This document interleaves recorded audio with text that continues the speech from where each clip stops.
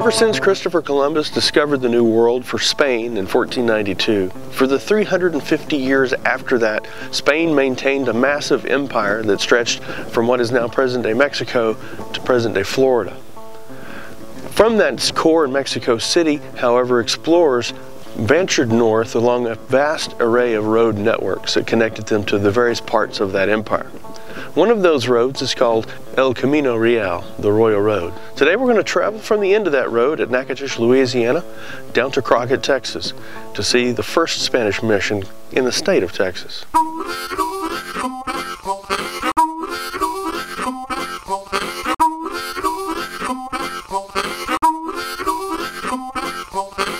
Fort Jean Baptiste State Historical Park is a great place for you to come and see a reconstructed French outpost. Here in Natchitoches, Louisiana, which is the oldest permanent community settlement in the old Louisiana Purchase.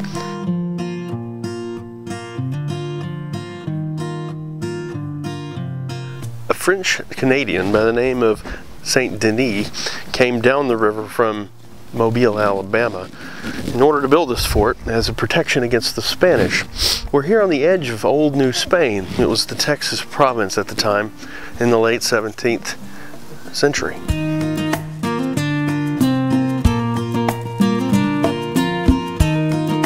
Life at a fort was very simple. There weren't many supplies. It was many, many, many miles back to Mobile, Alabama and some of the more established French communities.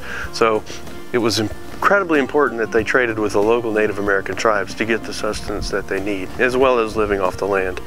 A fort like this is very simple. A, a uh, fence around the edges, simple wooden uh, dwellings for them to sleep in and, and have church service in. Uh, missionaries and friars were definitely a big part of the life here as they were trying to uh, bring Catholicism to the local Native American tribes both on the Spanish and on the French sides of the line.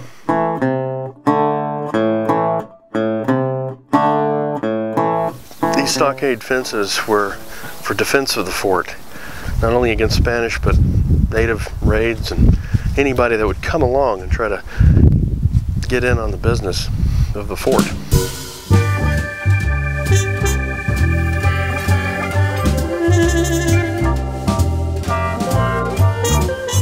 The fort here represents the easternmost terminus of what's known as El Camino Real, the Royal Road, or the old San Antonio Road. It was a road that was essentially game trails and trails used by Native Americans for probably hundreds, if not thousands of years before any Western settlers came. But the road was what critically connected Mexico City and the French Empire here in the Louisiana Purchase in the Mississippi River Valley. It was an important road for uh, Louis uh, and Saint Denis to go to Mexico and attempt to trade, which was actually illegal at the time, and they arrested him at the border. He ended up marrying the commandant's uh, daughter and coming back and becoming commandant of this place.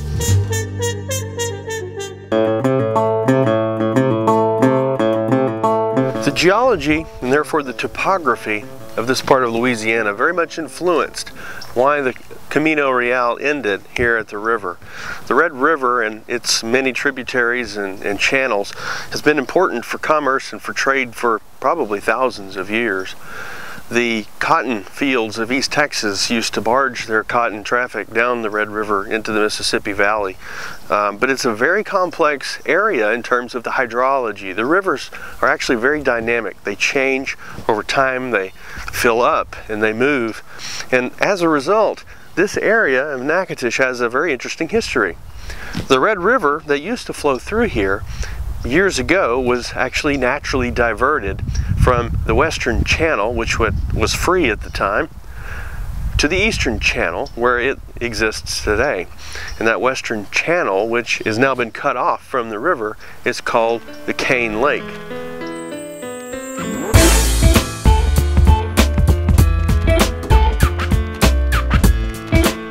Here along the historic waterfront in Natchitoches, you find Cane River Lake. Cane River Lake is a 30 plus mile long lake that used to be a part of the actual Red River system itself. Back at the turn of the century, the Red River was two channels, an eastern and western channel. And actually it was this western channel, the Cane River channel, that took most of the boat traffic for the Red River. The eastern channel was blocked by logs for many years. But today, because of geology, this part of the river has been cut off from the main river system, forming a lake. So we have Cane River Lake. The story of Cane River is one that really shows the unexpected consequences of man's changing of the natural landscape. When the log jam on the eastern channel was finally removed in the late 1800s, the river naturally shifted course and onto that side of the valley where flow had been restricted for so many years, rediverting the river away from the Cane River. In 1915, two dams were placed on the ends of the river to control the level of the water within it, and Cane River Lake was born. It's a great example of how sometimes when we do things to nature, we get unintended consequences of those actions.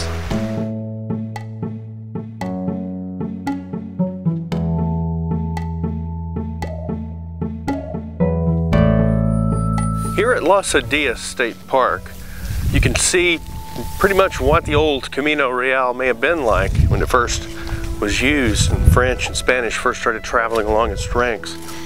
Probably no more than 8 to 10 feet wide, old game trails, Native American trails would have been used through miles and miles and miles of forest. In fact, it was over 800 miles to the nearest resupply point for the Spanish missionaries and soldiers stationed here at Adaes. This was the easternmost front, the easternmost fort in New Spain's Texas province, and as such it was the first capital of the province of Texas.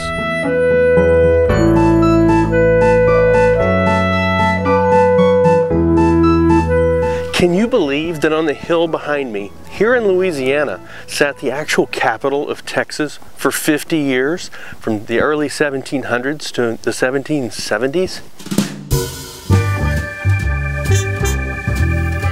Hidden in the piney woods of East Texas is Toledo Bend Reservoir. It sits here right astride the Texas-Louisiana state line. And it's a mammoth. It's 65 miles long, 10 miles wide, covers 185,000 acres, and it's the fifth largest lake in all the United States, the largest man-made lake in Texas and in all of the South.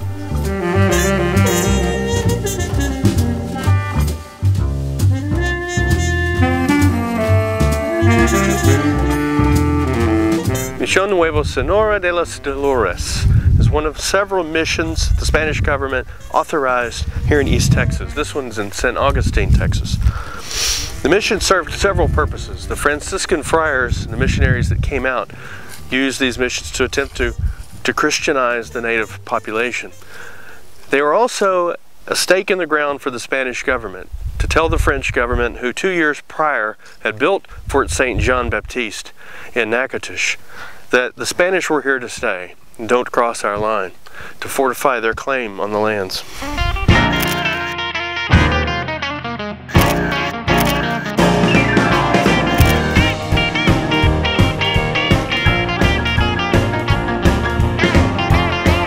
The Spanish held this part of Texas up until the late 1700s when eastern settlers and the French began to move back in and reoccupy the western part of the Louisiana Purchase. The El Camino Real de la Tejas made a perfect highway for settlers and immigrants from the east coming into Texas. And soon in 1779, Nacogdoches was founded. Nacogdoches lays claim to the oldest continuously settled town in Texas. After Texas won its independence from Mexico and achieved nationhood in 1836, the few years in between, the Republic of Texas government began to put itself together. And one of the things that was chartered in 1845 was a university for the new republic. It was to be here in Nacogdoches. And the building behind me, the old university building, was chartered. Of course, it wasn't too long after that when Texas became a state of the United States. But this is still one of the only remaining Act that was chartered by the original Republic of Texas. And you can see it here in Nacogdoches.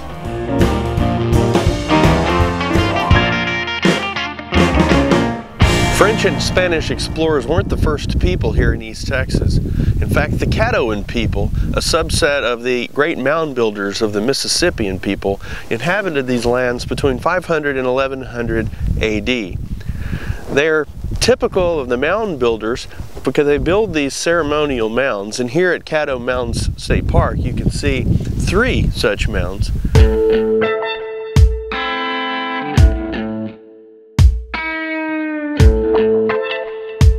In the 19th century, the El Camino Real path was used as the, the San Antonio Road and was uh, trafficked by immigrants and travelers from the southeastern part of the United States, especially places like Tennessee and Kentucky. Joseph Rice and his family was one of those uh, immigrants coming into Texas in the early 1800s. And in 1838, he built this log home that you see here at Mission Tejas State Park. Homes like this were frequent stays for travelers as they traveled the long path to San Antonio and Austin and places beyond. Davy Crockett was one very famous traveler through here just before the fall of the Alamo. The town of Crockett just down the road is named in his honor.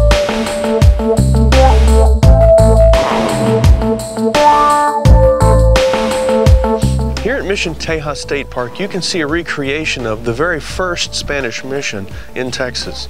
In 1690, the Spanish government sent Franciscan friars up the El Camino Real into East Texas to here, just northeast of Crockett, Texas, to create the mission San Francisco de los Tejas.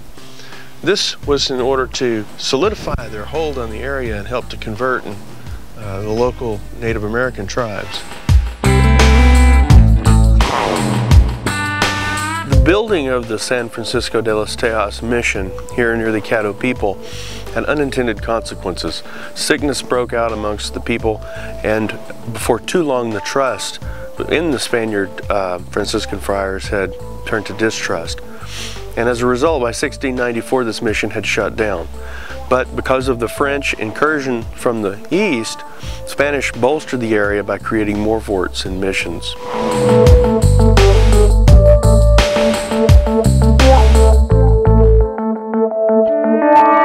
1763, and the Treaty of Paris was signed, France came back in and maintained control of this entire area. And from that point forward, Spaniards were no longer permitted to travel the El Camino Real.